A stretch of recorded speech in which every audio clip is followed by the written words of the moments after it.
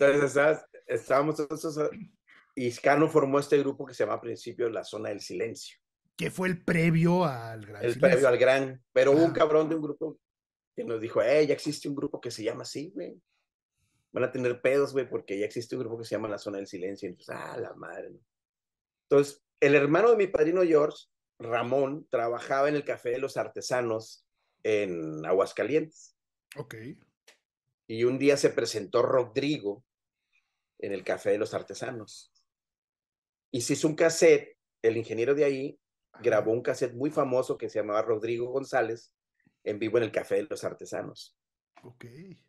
Y nos regaló una copia directa de ese máster. Tengo, de hecho los tengo por ahí, debo tenerlos, porque son dos cassettes. Muchos nada más tienen uno. Yo tengo los dos completos, todo ese show lo tengo completo desde el Café de los Artesanos. Y tengo ahí, me hacía unos speech del Rodrigo, ¿no? De la Maruca Cuca y no sé qué, más que muchos no lo conocen porque yo tengo esa parte, ¿no? que, que no se editó y nos lo regaló a nosotros. Y había una canción que se llamaba El Gran Silencio. Pasan las cosas por el tiempo, a la par del viento, en el gran silencio, de Rodrigo. Y pues también mamábamos a mucho a esos grupos, ¿no? Yo, a mí me mamaba y al Cano nos mamaba chingo eh, Real de 14, nos mamaba un chingo Astillero, yo compraba el Conecte y la banda rockera siempre, trabajaba en una óptica, en un laboratorio óptico y a la vuelta tenía una revistería y yo siempre compraba, me, estaba yo siempre pendiente de lo que sucedía en la música en México, ¿no? Pues conocía al Toncho Pilatos, conocía un chingo de banda, al Charlie Montana, lo, cuando, a los Duk Dukes, un chingo de banda, ¿no?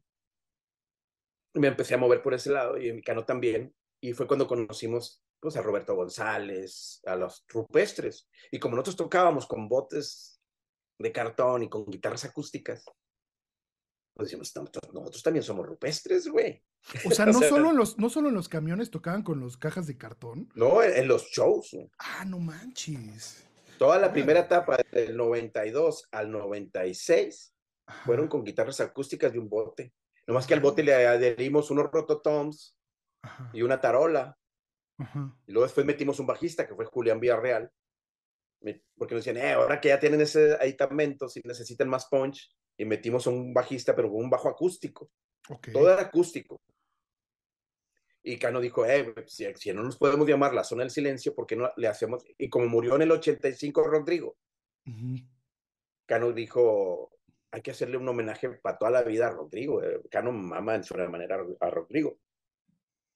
Tiene contacto con su hermana, con Amanda, Amanda la Lena. Nosotros conocimos a Amanda y Titita cuando todavía era la Lena, ¿no? o sea, y Cano tiene contacto con ellos, entonces le pone el gran silencio en, honor a Rodrigo González. No manches. De hecho, el Mastuerzo nos decía, no mames, pinche nombre, no está chido, pónganse de otra forma el Mastuerzo. Que le mando un saludo al Mastuerzo. Abrazo al buen Mastuerzo, que ya estuvo aquí este, también. Sí, entonces, este, pues fueron los que nos bautizaron. Entonces, este, y ya dijimos, pues vamos a llamarlos el Gran Silencio.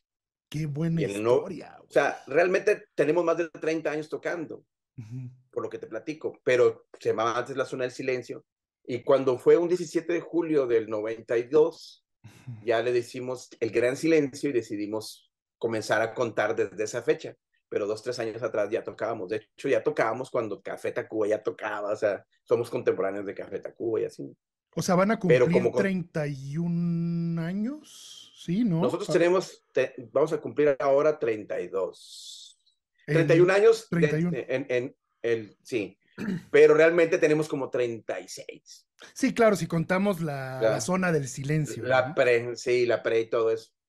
Eh, realmente lo único que pasó es que cambiamos el nombre. Sí, hay que contarlo desde la zona, güey, yo creo.